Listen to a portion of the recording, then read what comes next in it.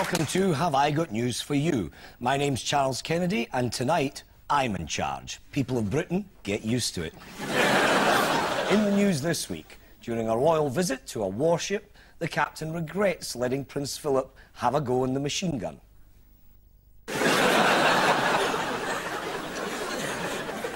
at a doctor's surgery in Westminster, a documentary team is given surprising access to a routine medical. On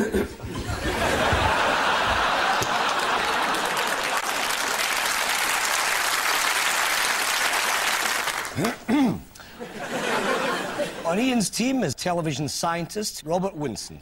And with Paul tonight, an author and journalist who has accused the BBC of dumbing down, please welcome Jordan's teammate on Shooting Stars, Will Self.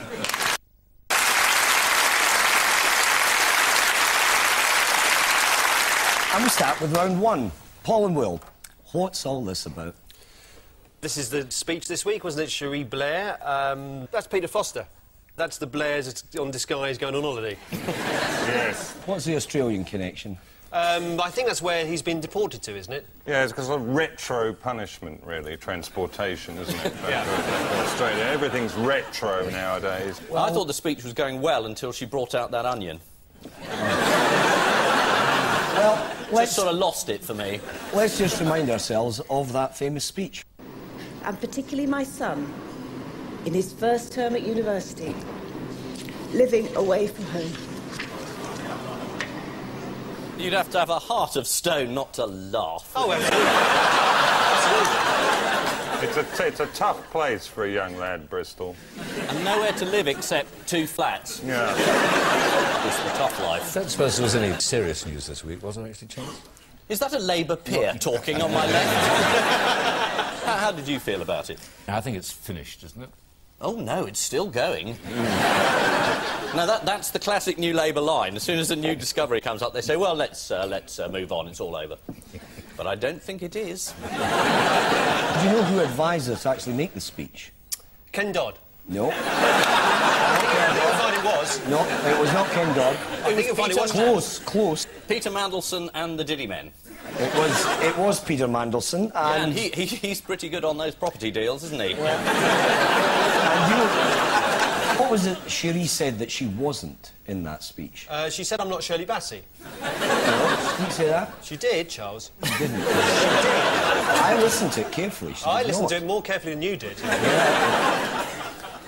She said, She said, I'm not Superwoman. she said, I'm not superwoman. And she said, you know, us working mums, hey, we all lie.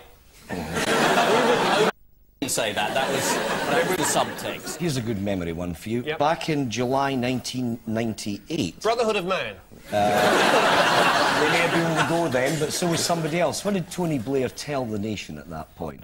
I love being asked this by a senior politician, as though you don't know. Um, Let's have a look. Yeah. I think we have to be very careful with people fluttering around the new government, trying to make all sorts of claims of influence, that we are pure and pure, that people understand that we will not have any truck with anything that is improper in any shape or form at all. So there you are. There's an element here of her being conned by this guy, though, as well, isn't there? what by Blair? You know.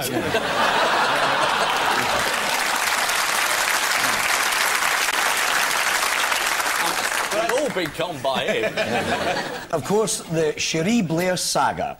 The row all centres on Downing Street and a seven story block of flats. The first story was that Cherie had never met Peter Foster. Of course, Cherie's lifestyle guru, Carol Caplin, has an equally gifted mother. According to the Mail, Sylvia Caplin is a spiritualist who can open channels with the dead. Apparently, she's in regular contact with the Conservative Party. How do you think this is going to go down with your colleagues in Parliament?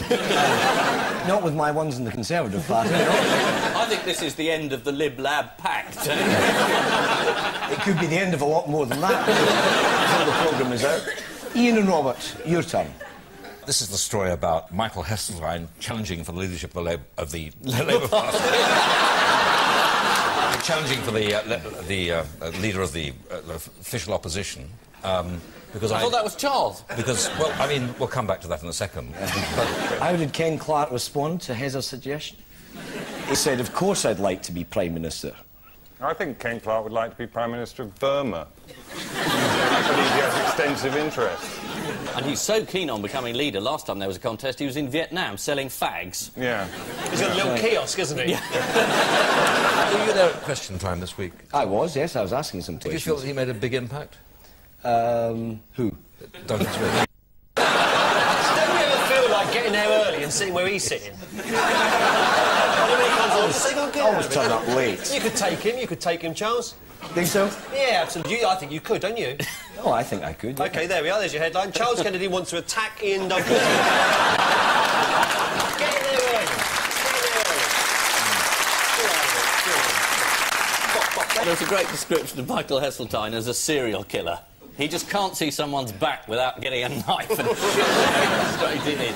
Yes, Michael Heseltine's very helpful call for the Tories to drop Iain Duncan Smith and replace him with Ken Clarke. According to one Ken Clarke supporter, unless drastic action is taken, the Tory party faces slipping down to number three behind the Liberal Democrats. Of course, that assumes the Liberal Democrat leader doesn't go and do anything stupid. Despite retiring as an MP after two heart attacks, Michael Heseltine is still a formidable opponent. But Iain Duncan Smith insists there's no hard feelings. He's even invited him round for a fry-up and a game of squash. Paul, Will, what's happening here? Uh, this is the dossier, I think, the dossier that's been coming out of Iraq, the 12, it's on CD pages. already, you see. It's making a bid for the Christmas number one. it's the most important person in the United Nations there operating the photocopier machine. And why, why did the Americans whisk it off to photocopy it? Well, uh, because they rule the planet, basically. and uh, they're in wasn't- that control was- of everything. That, that They rule you. that You're wasn't- controlled by wires from the Pentagon. You didn't know that, did you? Not But I can no. see them. No. they claimed they had the best photocopiers. Really? what do the United Nations have? Just a bloke with a blackboard and a pen and tracing paper. Which country were they most worried about seeing a copy of this? Syria. And they've never sold any arms to Syria, and of course, nor have we. Ever. Do you know that Saddam has nine doubles and one of them is sitting next to me? Away from that in Washington this week, what in fact has been taking up most of President Bush's time? Sending out Christmas cards. He sent out a million Christmas cards. He did. He did. He licked them all himself. He did. he had to because he kept spelling Christmas wrong. Oh, there it is. Does Bush play the piano? Yes, he's a brilliant concert pianist. a career tragically cut short by becoming President of America. He studied the piano for several years before realising it was a large musical instrument. Talking of any possible military action coming up, why will our HMS Nottingham be unlikely to be involved in it? It's a pub. It's that uh, ship that ran onto the rocks, isn't it, uh, off is. Australia, and it was brought home on the deck of a sort of salvage vessel. Just hope that's not the entire Royal Navy and the small one at the front there. But I had a nuclear submarine that collided with the Isle of Skye a few weeks ago. If the Isle of Skye will insist on shooting around the Irish Sea like It's the release of the Iraqi arms declaration. It's unlikely that George Bush will attempt to read the 12,000 page document himself, as there's a serious risk that the end of his finger would wear away. What,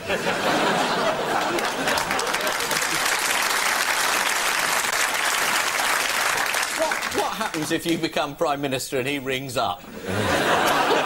It's unlikely that he would ring up. Ian and Robert, can you make sense of this? This is a 200 pound elephant baby that's just been born as a result of um, insemination.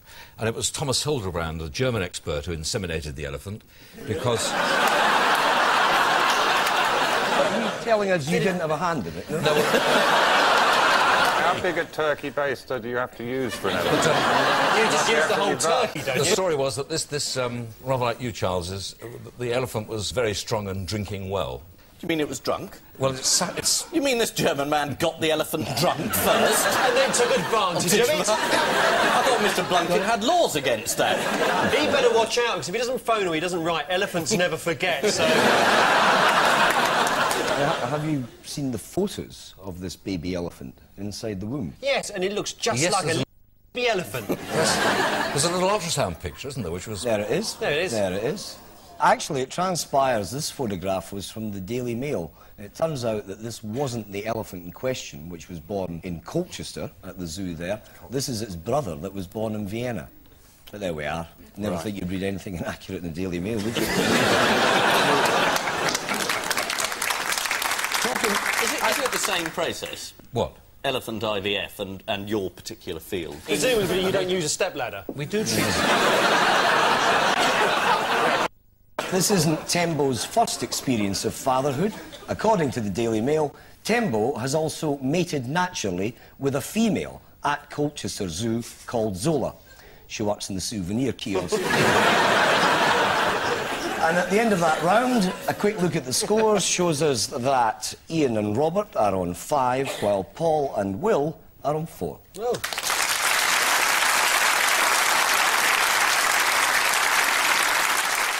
The tabloid headline round. Paul Santa Slade.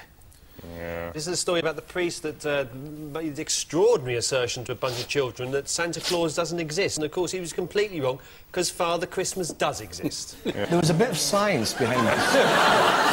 can't measure Father Christmas in scientific terms because he's beyond the, the simple imaginations of scientists. But that's the thing scientists never take into account, is Never, that he's never. magic. Yeah. The guy was a substitute priest, and, and after he freaked out all of these three-year-olds, uh, he explained that he had no idea how old they are, which is what priests often say, of course.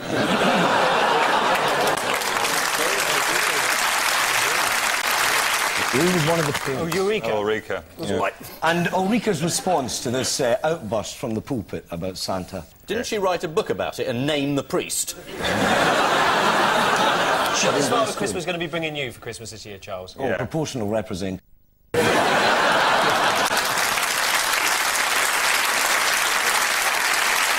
Church of England's also been in controversy this week. Have you seen this? Another story? Blessed are the holy tat sellers. It's a website which He looks really offers tacky religious and Christmas gifts. We can have a look at some of these. There's a bobble-headed nodding Jesus. That's, that's Robin Cook. Yes. Standing on a cowpan. Then, if it's your wish, you can have a Father, Son, and Holy Ghost in In Lego. in Lego. In Lego. That is unbelievable. this is a thousand years And then- of theology and it looks like Casper. If you really feel like splashing out this Christmas, there's a 47-foot inflatable cathedral. It comes with a blow-up altar, pulpit, and pews. No, How much would that set you back? You think? That's got to be worth 180 quid. Yeah, 180 quid RR deep, isn't it? Still, you wouldn't need to grow that Leylandii hedge. if you neighbours next door just erect your inflatable cathedral. That'll freak them out. Yeah. Would you buy one, Charles? No. Why not? Too mean. You're too mean. Too mean. You're too mean to buy an inflatable cathedral. Yes. Well, you're not getting my vote. Ian and Robert, wake me up before you go-go. This is about trains. Subject close Oh, to your heart. They've decided this Christmas, because a lot of people go to Christmas parties and fall asleep on trains and then miss their station. Ah. So they're issuing badges that says, wake me up Yes, at, you know, yes. At Bruton. at Bruton or Marden or Ashford. Except on my line, um, where they're issuing badges saying, wake me up if a train arrives at all.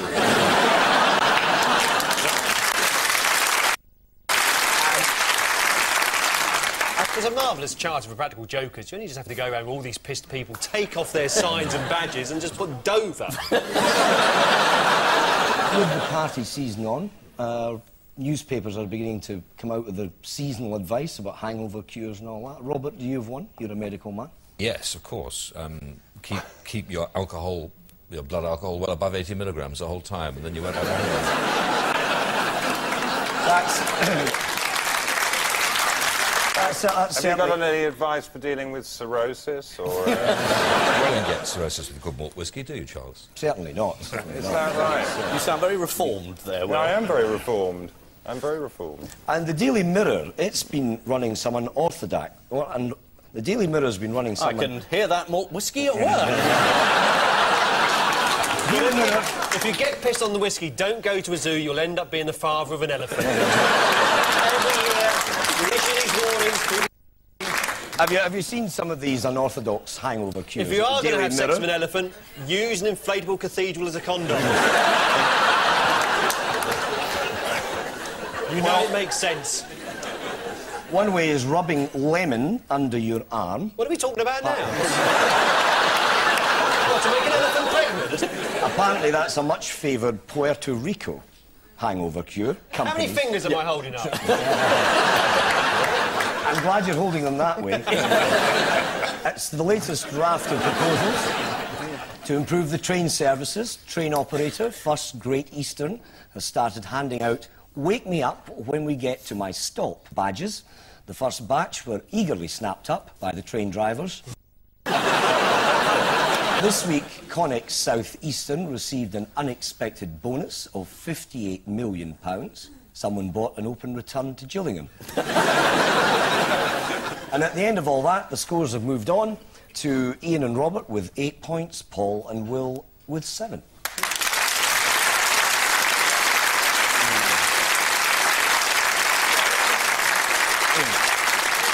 Round three is all about picking the odd one out. Paul and Will, your four are Sir Ranulph Twisleton Wykeham Fiennes, Lord Melvin Bragg, Edwina Currie, and Alan Titchmarsh. That's Melvin Bragg, is it? That is a younger Melvin The Bragg. fifth Beatle. I like the way that Alan Titchmarsh is parting those fronds. Yes. And I think you'll find that next to him, those are John Major's hands. I think that uh, Titchmarsh writes these novels, right, as well as being a sort of top garden bloke. Hmm. Currie writes these sort of parliamentary bonkbusters, in which you featured in a cameo, haven't you? Not that I was aware. yes, you have, as a, a highly sexed, hmm. flame-topped Scotsman. Uh, there was something of the Elephant House about the way he hmm. wandered towards me. Perhaps it was the Is that your trunk, or are you just pleased to see them? I must admit, I do recognise that description, Will. Thank you. This is about the Bad David Sex Bowie? Award. Ah, yes, maybe it's There's, a, there's an. Yes. award every year given Ah. to the novelists who write most cringingly about sex. Weren't you, weren't you In which case, have they one? all won it, except... Except Reynold Fiennes, he's no, not on it. I Because his think penis fell off when he went to the Norfolk Pole. Frozen. the Norfolk pole. The Norfolk Pole. He, I don't got- know. he was wandering around Yarmouth saying, I declare this land is British. Just outside the co-op. And it was a cold snap in every sense of the word. Well, they've all been nominated for the Bad Sex and Fiction Award, mm. except for Fiennes. Oh, right. But he mm. starred as a metaphor in last year's winning entry. Oh, really? Her hand is moving away from my knee and heading north, heading unnervingly and with a steely will towards the pole. And like Sir Ranulph Fiennes, Pamela will not easily be discouraged. And when she reaches the North Pole, I think in wonder and terror, she will surely want to pitch her tent. And And like- not the Norwegians got there And like- first. and-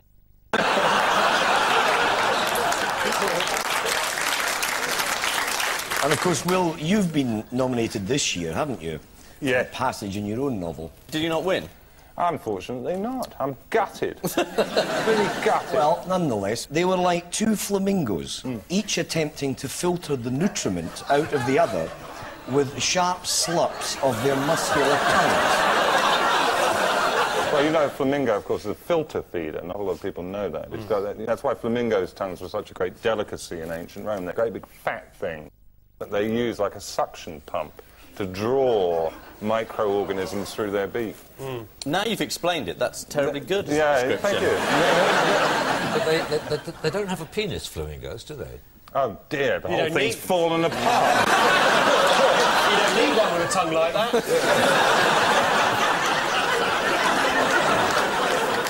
Alan Titchmarsh told a journalist, in 1998, I suddenly knew I had an imagination, which I'd never used. I don't know where my ideas come from. The lead character in my first book was a television gardener. It's a gift, I suppose. According to the Daily Record, Alan Titchmarsh's first three novels have all been bestsellers and Shift by the Bucket Load. Spot the misprint.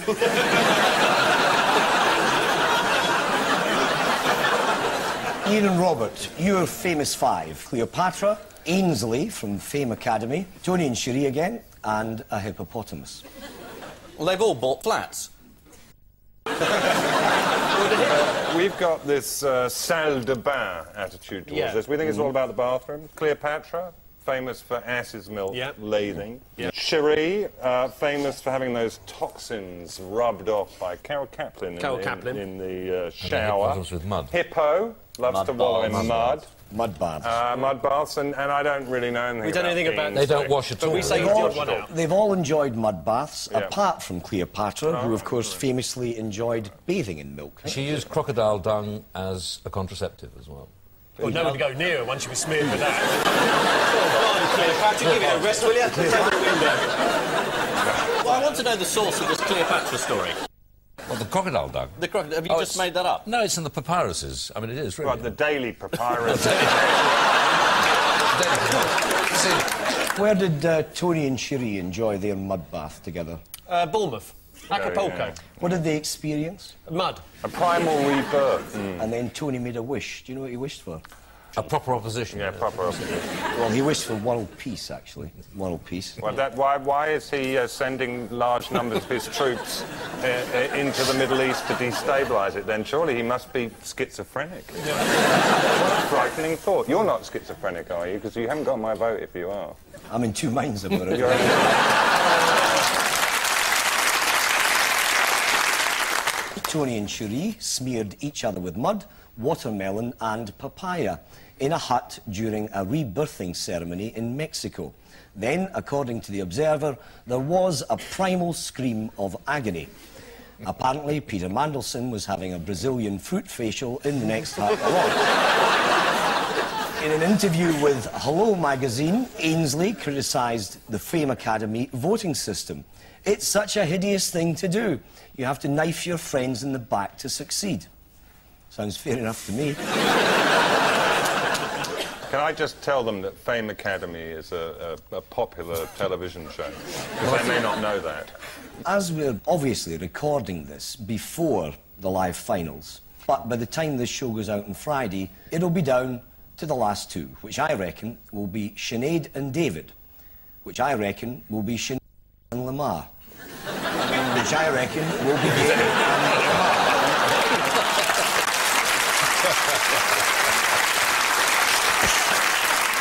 Of course, by the time of the Saturday repeat, we'll know the winner. My money's on Sinead. My money's on David. My money's on Lamar. Is this what's called proportional representation? Everyone's a winner. Everyone's a winner. Missing Words is the final round featuring this week's guest publication, Piping Times. Here we go. Mr. Angry is what?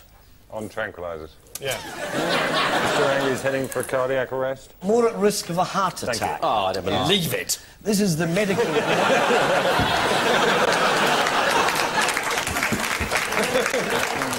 Next, the McCallum drone valve is not suitable for uh, what? Firing a Scud missile. The marching bagpipe. No, it is a bagpipe. It is a one, though. bagpipe. It's got to be. The McCallum drone valve was one of the great innovations, wasn't it, in Playing 1678?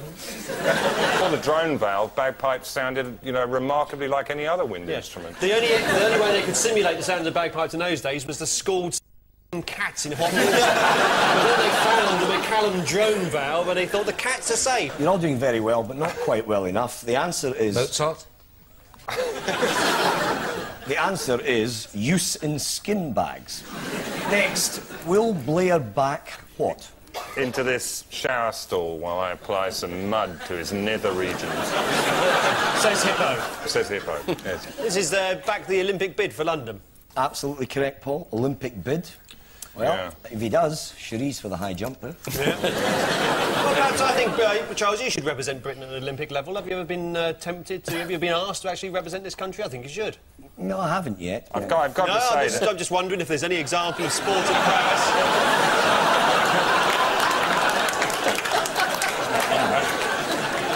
Next. I Can we haven't- see that bit of footage again, please?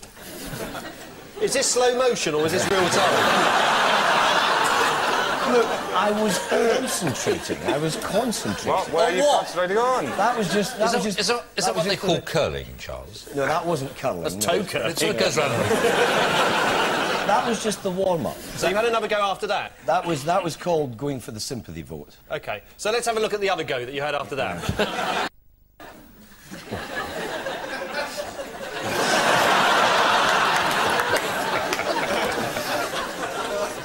And finally, I haven't got a political message. I just. Appear on Have a Good News View as chairman.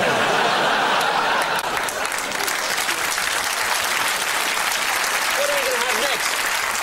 Iain Duncan Smith, and they think it's all over. It is now. Yes, that's said. The answer, in fact, is want people to feel better. This is oh. about Nikki Page. She wants to be the Tory candidate for Mayor of London. Oh, yes, The yes, attractive blonde, former model, is standing against Steven Norris. He'll be pleased with that. Well. and that brings us to the end of tonight's contest. And the final scores are as follows. Ian and Robert come in with 10 points, ah. but Paul and Will win with 11. Oh.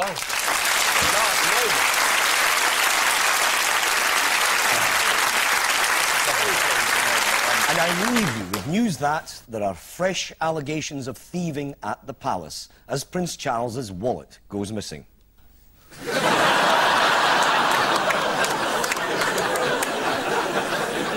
At the National Gallery, just when he thinks things can't get any worse, Iain Duncan Smith unveils his new portrait. and there are mass resignations at the Downing Street press office as a new scandal threatens to break.